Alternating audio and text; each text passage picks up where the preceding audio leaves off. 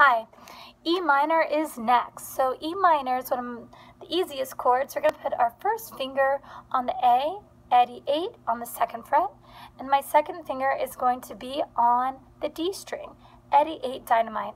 There are no X's, so I'm going to strum all six strings and I have E minor chord.